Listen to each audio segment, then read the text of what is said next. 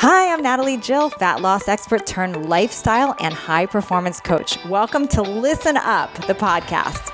On this podcast, I do what I do best taking complicated information that is relevant to us now and breaking it down simply with actionable steps you can implement to level up your life.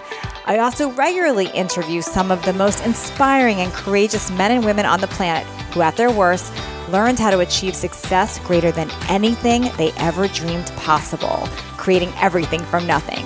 If you are new here, I encourage you to go back and listen from episode one when this podcast was previously called Leveling Up for the Full Transformative Experience. Today on Listen Up, I've got a special guest. This is my friend Amanda Tress. She's a new friend of mine. Uh, she is the founder of Faster Way to Fat Loss, and it's it's funny because when she posted a picture recently of us on our social media, and we had done a podcast together on hers. I couldn't believe how many people were like, oh my gosh, I follow both of you. I like both of you. I've used both of your programs. So I can't believe it took me this long to get to know her. Um, but when we talked for her podcast, we clicked right away. I met her when she came out in San Diego.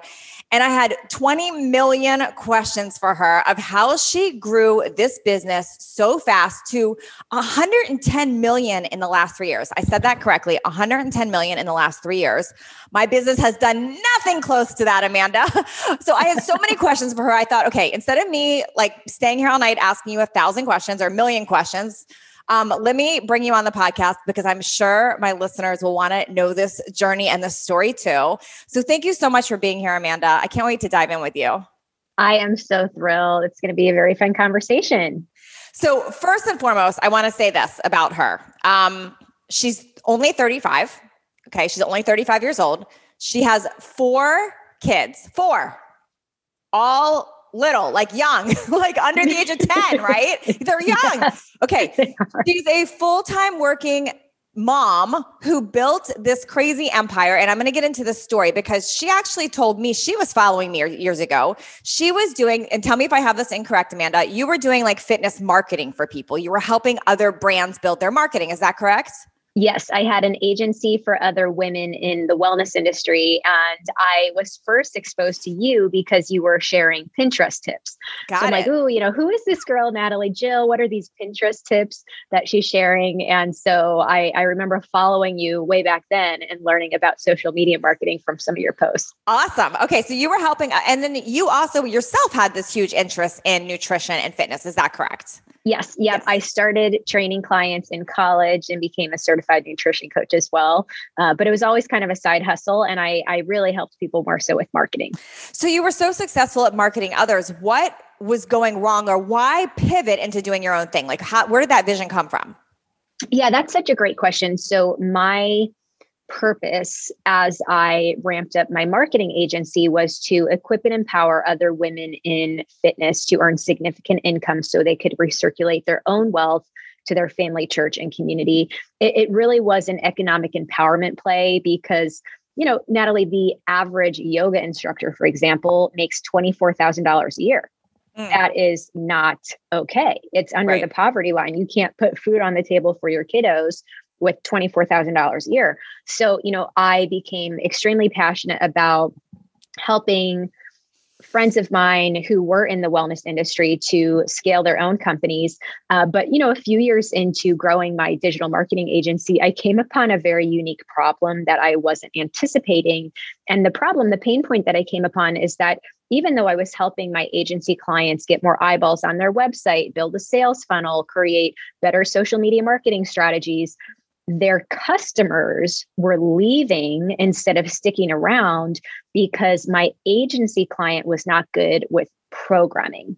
Ooh, meaning so the deliverables. So you could get them in, you could get them interested, but they weren't staying because the deliverable or the program wasn't nailing it. Right. They weren't seeing results. The fat loss program, the fitness program wasn't good. And so I decided in 2016 to start a beta program called the faster way to fat loss to test strategies. I'd already been working with clients in the gym for many many years. I'd been leading group boot camps and, and ramping up my own virtual online training as well. Um, but i decided to incorporate all of the different strategies that had worked for me had worked for my gym clients and i created this little program with 11 former clients. A few years, or excuse me, a few months into the program, my clients were seeing incredible results, just absolutely raving about the program. Um, I decided to call it the faster way to fat loss because it was very centered around the concept of intermittent fasting. Mm-hmm. And then ultimately, I said, you know what, I'm going to build a certification around this program and get it accredited or approved for CEUs with the biggest organizations in the fitness industry, and then allow my agency clients to become certified to run my program with their own book of clients. Uh, and so that that's how it got started. So, okay, before we get into that, because I have a lot of questions there, um, talk to me about the people pleasing aspect because I would imagine when you were working with clients, helping them, I'm just trying to picture how this went, and you're like, okay, I see a gap in the results and the deliverables, so I'm going to offer a program. Did you have a story come up around, okay, my client's going to be mad at me, I'm now competing with them? How did you navigate that? Or maybe that wasn't even a conversation. Yeah, you know, it's so funny because when you say the phrase people pleasing, like that, it doesn't even resonate with me. It, it's funny. Just earlier this morning at my office, I was talking with some of my team members and I was just sharing about some criticism I'd gotten on social media for like just different random things. And I was like, the thing is, I literally cannot even be bothered. Like, I just, I'm so clear on my purpose. Mm. And I often say, you know, I had a purpose before anyone had an opinion. And for me, if I don't have dissonance over a strategy like testing a fat loss program, then it's, you know, definitely something I'm going to move forward with. It, it, did not violate my conscience in any way to say, let me create a program, use it as a testing ground, and then ultimately have a better turnkey solution for my agency clients who really want to scale but don't want to do the programming or don't want to do the back end technology. So for me, it was just, I mean, solving a problem. Yeah. And you know, maybe, I don't know, maybe a few of them were like, oh, she's competing with us. I mean, I could care less. I don't but remember even like. This is so amazing because this is what holds so many people back. The the fear of that what is somebody else going to say? What are they going to do? And that's why I wanted to ask you that question because I find that visionaries, leaders, they do not let the opinion of others stop them. They just don't. And right. it's it is the first skill I like to work with clients through because when they're trying to create a vision of their own, because if they do not address it, it does hold them back. So I love mm. that I that you said that because I think you fortunately in life, whatever reason, you were gifted that that ability to see that and not care. But I think a lot of people it does hold them back. Yeah, yeah. No, I, I, totally agree with you. And, you know, it's sad. I think fear of criticism holds more people back than failure ever will. Yeah. it's it's really, you know, it's almost like a muscle that you have to develop. And through the years when, you know, I'd receive certain haters or things on social, like I've just had to shift my opinion about why that's even happening and mm-hmm. and really have compassion on the individual like not even use ego anger or bitterness towards someone just say you know what I'm going to have compassion on them because something in their life is causing so them to project their issues onto me uh, and and you know just have to kind of move past it. Yeah. And had and i want to share this for if you're listening and you're like well gosh i do have that people pleasing issue or i want approval of others had amanda not listened to her idea that i have a purpose before you have an opinion she wouldn't have helped 210000 people. So that's so it becomes a selfish thing to be stuck in people pleasing i believe 1000%. So, okay. So you had, you started a pilot program. It worked uh, with your 11 people. You decided you're going to do this. And then you, the first year, I think you said it did a million dollars. Is that correct? Um, you know, probably not that first year. It really was kind of that side hustle, just beta program, kind of testing it. 2016, I was still running my agency, and that was 95% of my time. 2017, 95% of my time was helping other clients. Uh, and then, really, 2018 is when I said, you know, I'm going to really focus in on Faster Way. And, and the reason that I did that is first and foremost, I had a baby at the beginning mm-hmm. of 2018. And so I took a bit of a maternity leave. And what I experienced is that Faster Way as a digital online boot camp was making money mm-hmm. while I slept without having to be on consult calls and mentorship calls and consulting with agency clients. And I'm like, gosh, you know, the scalability of that is so nice. Um, and and so I said, you know, I've been trying to juggle these two companies for uh, you know a series of now years let me pick one almost out of care and concern for my baby, who was my third at the time. Um, so I chose Faster Way instead of the agency. I shut down the agency to clients who were not associated with Faster Way. I had already built the certification, but was like really just kind of starting to get that off the ground. We had only maybe 80 certified trainers at that point in early 2018. Um, so since 2018, we've gone from about $1 million in sales for Fasterway specifically to over $110 million wow. in sales. So, what I'm hearing is another pivotal step, um, which is being really focused on one thing. Yes. Because yes. a lot of entrepreneurs are guilty of the monkey mind and yes. wanting to create a million different things at one time. And you were focused on two, and you even knew two focuses is splitting too much. So you doubled down on one. Yes. And I think yep. had you not done that, it wouldn't have happened this way. Mm, yeah, a mentor of mine shared a really good piece of advice with me in 2018. He said the most successful entrepreneurs are the engineers uh, uh, or or the accountants or the people who are able to just focus on one single thing for a decade. And so, you know, previous to that, I had come out with so many different online boot camps. I had a body after baby boot camp. I had a fit pregnancy DVD. I had a 21 day shred. You know, I had so many different things. And so I said, I'm going to focus on one single program, one single brand, one single company.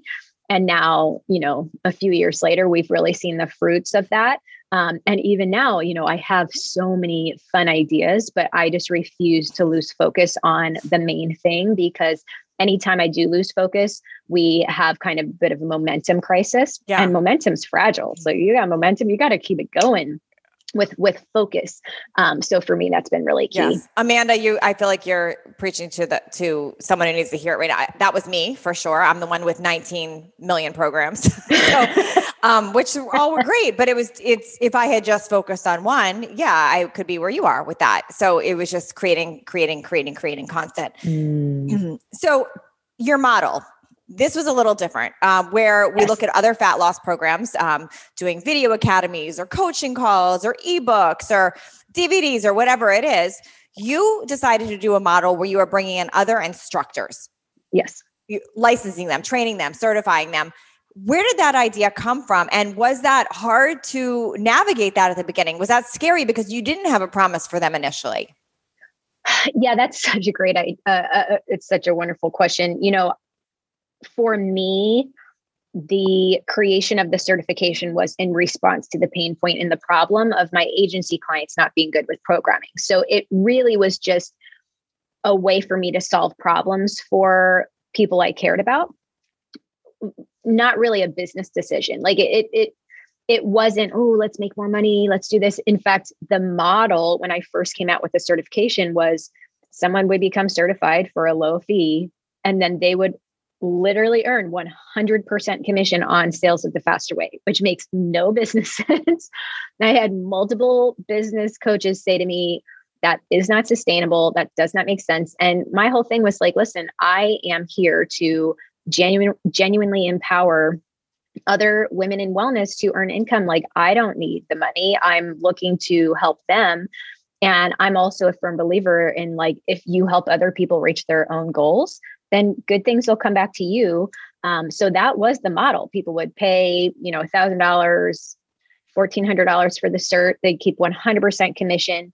We since have shifted the model just because we we provide so much more value coming alongside the trainer to support their client. So we really like out of the need to invest in our own staff team did shift the model to where we give a portion of the commission over to the certified trainer.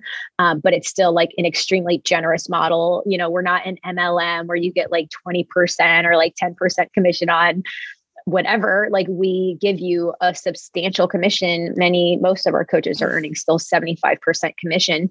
Um, but you know for me i I definitely had to journey through some highs and lows when we first launched the certification and then did shift the model a bit. We lost, you know, a couple coaches who decided to go out and make their own program.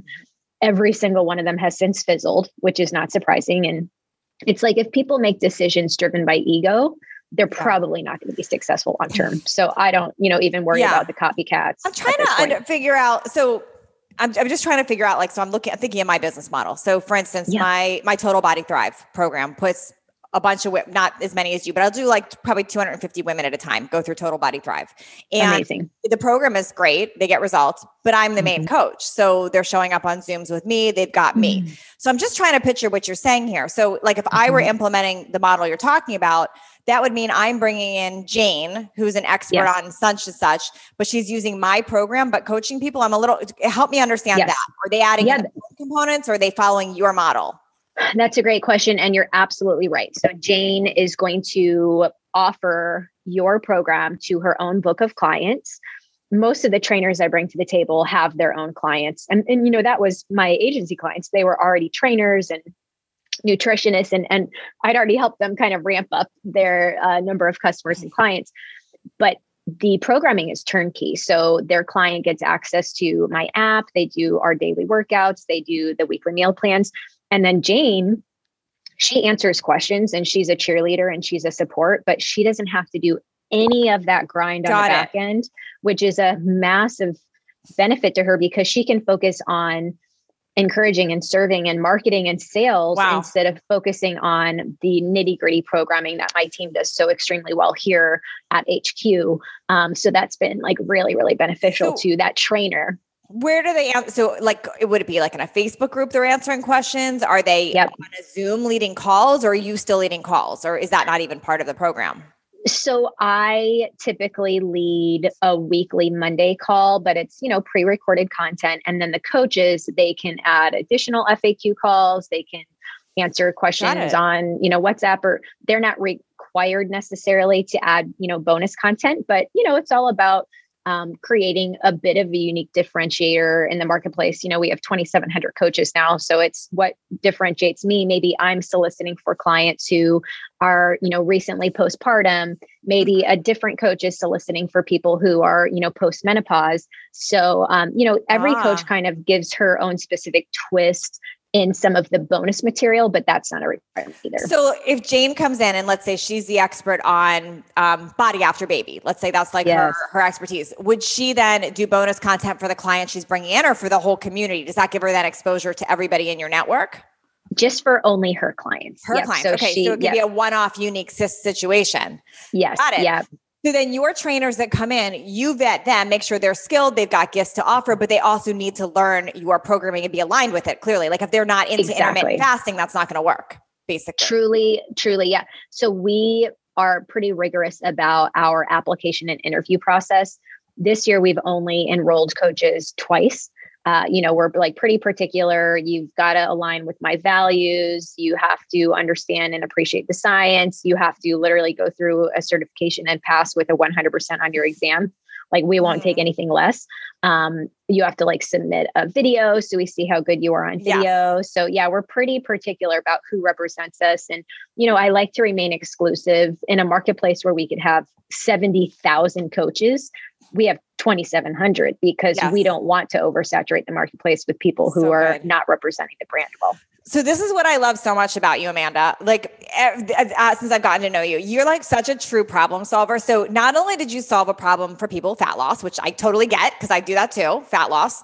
You solved a problem for these trainers, nutritionists, amazing people that didn't know how to do programming. You solved a problem for them.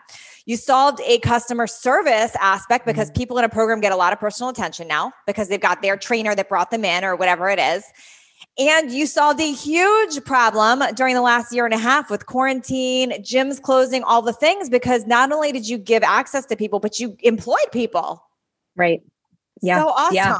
Yeah, yeah. You know, last year, 2020, 2021, really the beginning of the year, it's been uh, an important time for us. Last year, when gyms shut down, we immediately started soliciting, you know, different gyms and saying, listen, we're going to provide scholarships for your trainers who are unable to work right now. So we were doing scholarships for the certification if someone, you know, passed through the interview process. Um, but we gave trainers who otherwise had no ability to put food on the table for their families a way to earn significant income and we have trainers who are just absolutely thriving And, you know, we have been doing digital fitness for so long. I've been doing digital fitness since the flip cam. Like I would yeah, film myself on flip cam and me too. Those videos are still out there somewhere. Literally. And it's like, you know, all these other big companies are like coming out with digital fitness. Yeah. And I'm like, oh, I've been doing that. I'm like yeah. OG digital. So, you know, people were coming to the program. We had a rush of clients, you know, in 2020 um, for the program and, and truly increase that lifetime value as well, because we've been just adding more and more in the way of resources and uh, accountability and community for our clients. But yeah, it's been a time of solving problems and uh, really being able to serve the marketplace. So awesome. Okay, I have some other questions here. Okay, th- these like well, first of all, kudos to you on building this business. Um, so my ne- my next question on that is, are did you have a business savvy? And that's let me explain that question.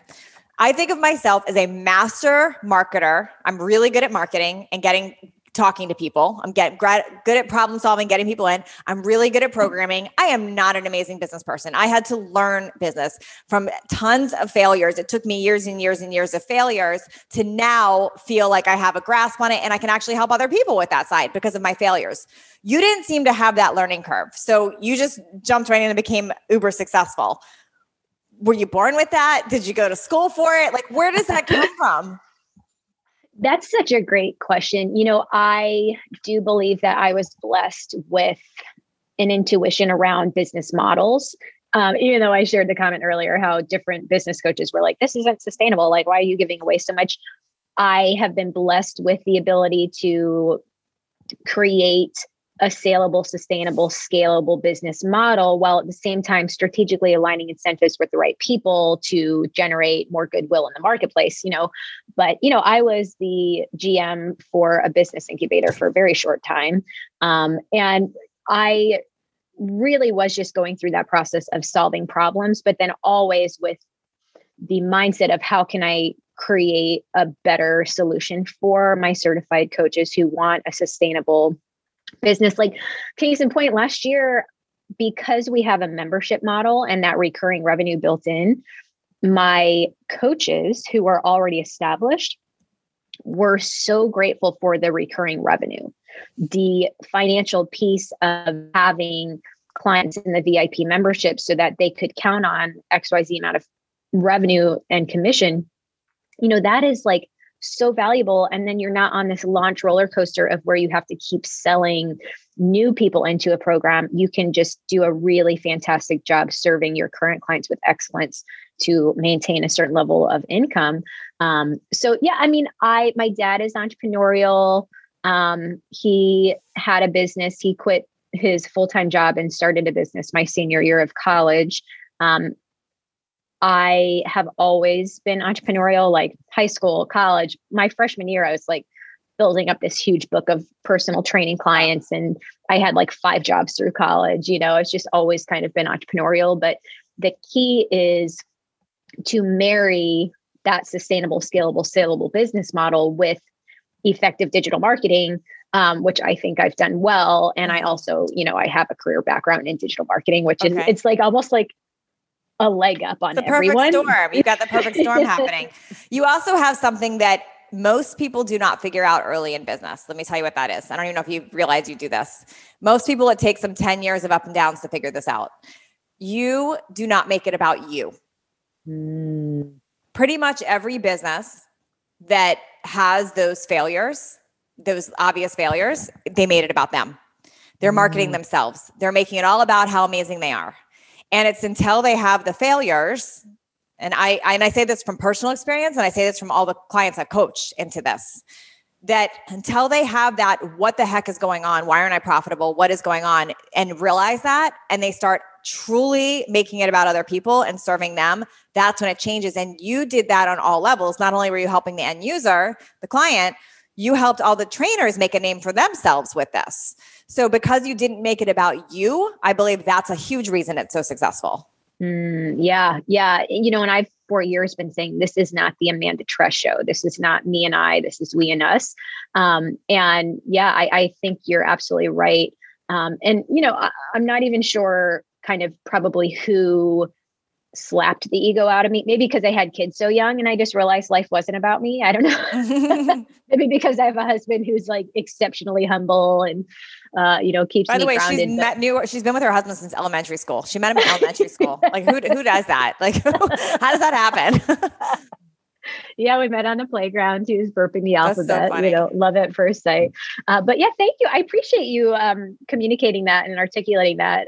I yeah, I've never really thought about it that way, but I think you're absolutely right. Yeah, if you look at some of the businesses you actually coached beforehand, if you think about those clients, why, mm-hmm. what were they doing it for? Were they doing it to serve others or to make it about them? So yeah. I, it's just a pattern I notice when yeah. clients come to me and I'm looking at them when they're like, I have this big following, but nothing's working. And I look and it's like, you're making it about you. Yeah. Yeah. And yeah. You have to them, make it about, yeah and and you know i i was telling one of my writers this yesterday he watched me kind of rewrite some copy and i said it's not about us. It's not about faster way. It's not about Amanda Tress. It's about the client whose problem that we're solving. And so i always start with that. And he watched me kind of rewrite and he's like oh yeah okay that completely makes sense. Um, you know we're we're launching a church here locally and i was looking at a landing page yesterday and i emailed the team and i was like listen it's not about the church and how many campuses they have. It's about the person in the community who's searching for a family and wants to connect. So yeah, I was just like, I've been yeah. rewriting copy all week to that uh, to that theme. So thank you for that. So talk to me about being a mom of four and running this multi-million dollar business. Like how does that happen? Like do you have a hundred nannies? You have like what what is happening? Uh. how do you do that? I have one kid oh half gosh. the time and it's hard.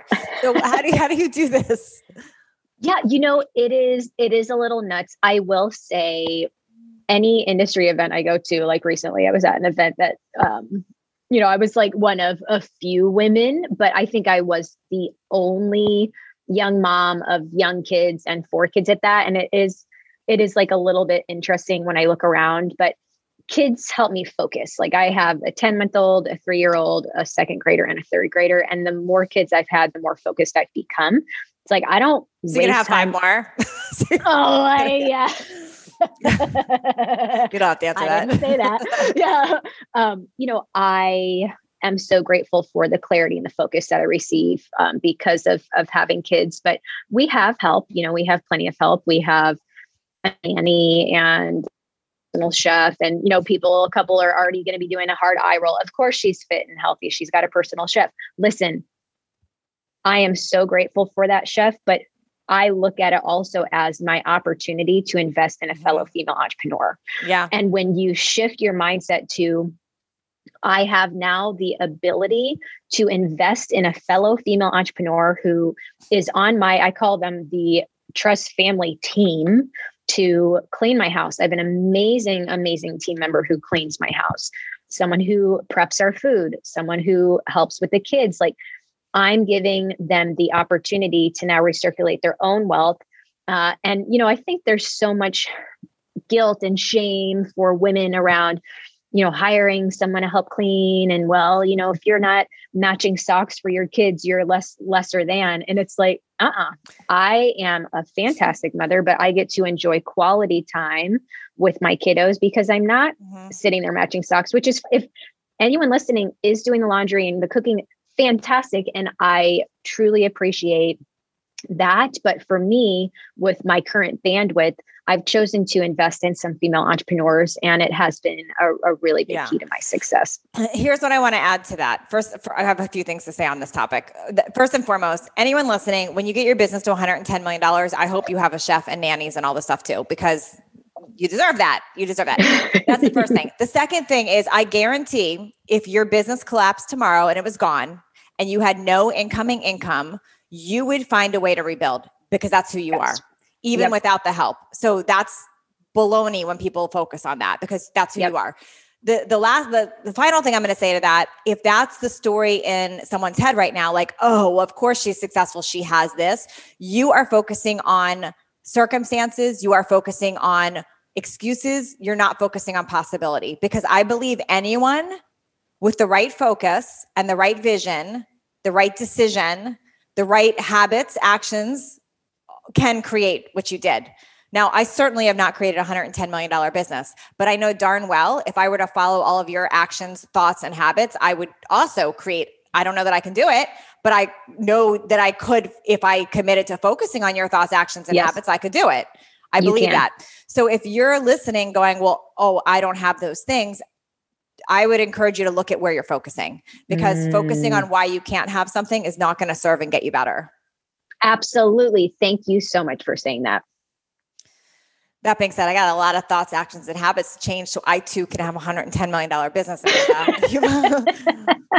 I'm like, how honestly, like truly, you can, uh, you know, with the amount of engaged followers that you have and the passion and values that you have, I have zero doubt that Natalie Jill actually could build a billion dollar brand. Well, I might there need Amanda no to help me mind. do that because I, I, don't know that I got it in me. But but but I do love I love what I do. I love who I'm serving. I love how my I love my business. I love what I what I've created there. So maybe or maybe I won't ever have a hundred and ten dollar business, a ten million dollar business. But I like entertaining the idea that I think anything is possible with thoughts, actions, and habits going in that direction.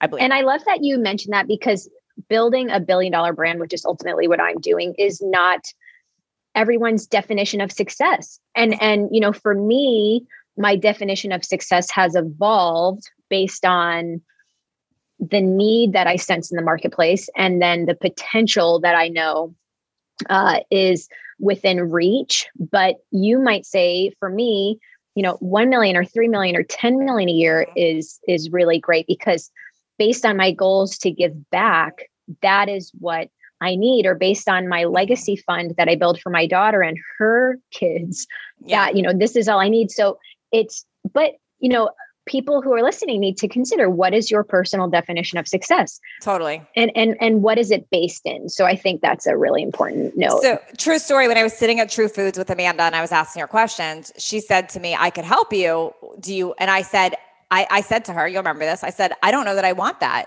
I said that. And yeah. to me, it was a light bulb moment for me as well that until you decide something, it will not happen. So, unless mm. I am in a place where I decide, Amanda, I'm ready to create a billion dollar business and that's what I, my decision is, that's not going to, it's not going to just happen by accident.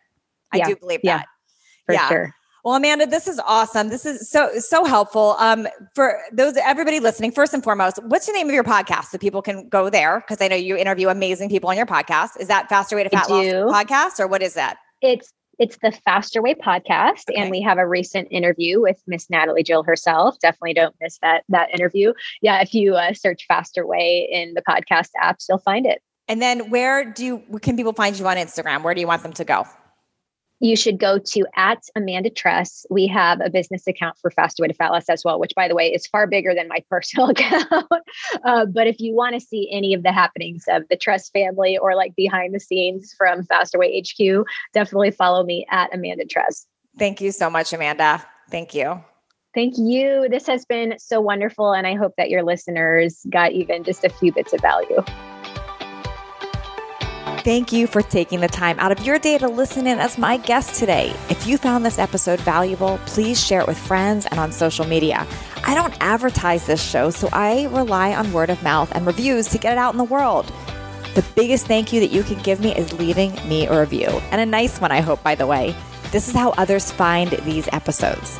If you do leave me a review, be sure to message me at support at nataliejillfitness.com with a screenshot of your review because I would love to send you a free digital download of my DSR journal as a thank you. And please don't forget to connect with me on social media at Natalie Jill Fit on Instagram and Facebook.